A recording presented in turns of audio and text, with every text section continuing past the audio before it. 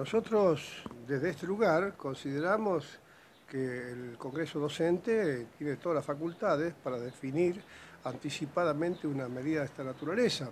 Por supuesto que a nosotros esto nos resulta eh, no sorpresivo, pero sí muy preocupante, porque acá está en juego la educación eh, de Santa Cruz, y hablamos de niños, de jóvenes y adultos.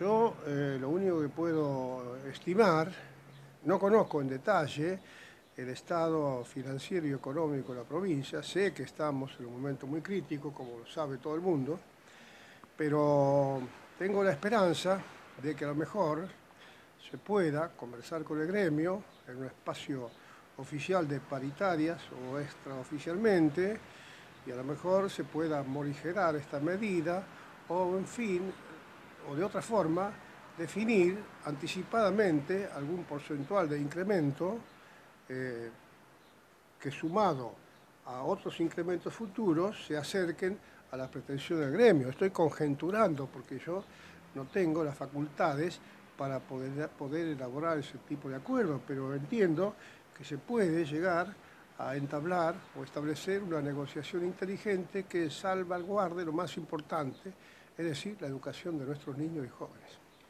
En cuanto a lo que se va a implementar el año que viene, el primario y el secundario, ¿cómo, cómo están las, las reuniones?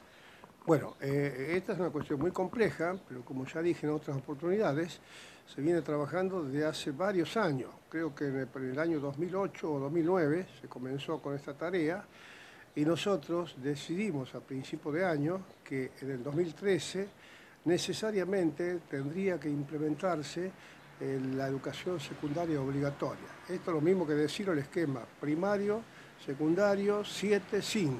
¿Por qué? porque somos la única provincia en todo el país que aún no lo hizo. Y además todos los formatos, toda la documentación ya vienen encuadradas en el esquema primario-secundario.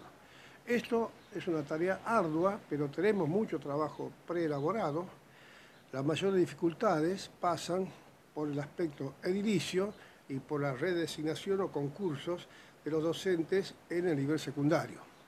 En cuanto al aspecto edilicio, se han creado creo que 11 colegios secundarios nuevos, hemos inaugurado algunos edificios y ya está en acción un plan de obras para realizar ampliaciones en algunos colegios, en la escuela técnica, etcétera, que permitan cobijar adecuadamente la implementación de esta modalidad.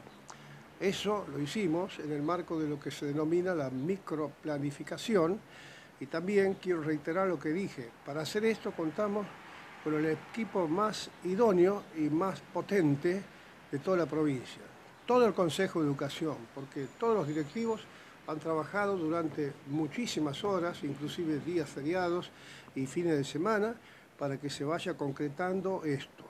Lo que está restando definir, y justamente hay una reunión de paritaria en este momento, son los detalles o la implementación de los concursos que se van a realizar para nivel secundario. Como todos sabemos, el inicio del año académico o del ciclo lectivo es el 25 de febrero. Pero en el caso de la educación secundaria va a comenzar dos semanas después para de esa manera poder desarrollar eh, la implementación de los concursos y las titularizaciones. En cuanto a las titularizaciones, ¿cómo están hablando con el gremio? Bueno, en este momento están en plena paritaria y por lo que escuché se va a pasar un cuarto intermedio para continuar el miércoles 26. Faltan algunos detalles para definir. ¿Qué serían esos detalles? Bueno, eh, es largo de contar, pero digamos, estamos trabajando arduamente y hay algunas cuestiones en las que las opiniones son divergentes, pero en base, en base al disenso se pueden muchas veces generar un punto de vista o una decisión superadora. Ingeniero, para finalizar, un, un corto balance que me haga del 2012.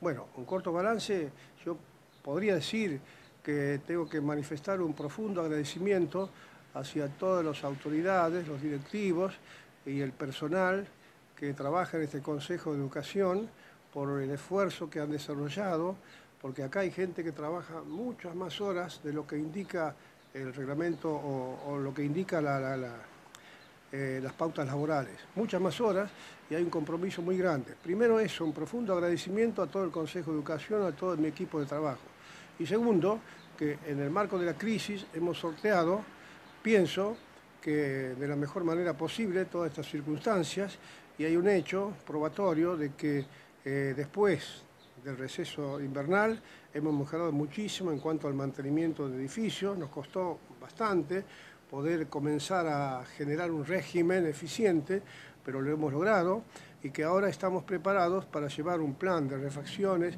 y de mantenimiento estructural a realizar durante el receso estival, de manera que podamos comenzar el año lectivo 2013 de la mejor manera.